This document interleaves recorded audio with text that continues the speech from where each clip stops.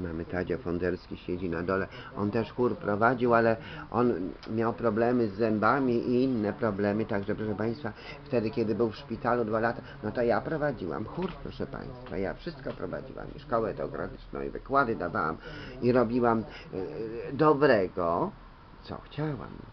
Dzisiaj mamy, proszę Państwa, 2,25, czyli 25 listopada 2,13.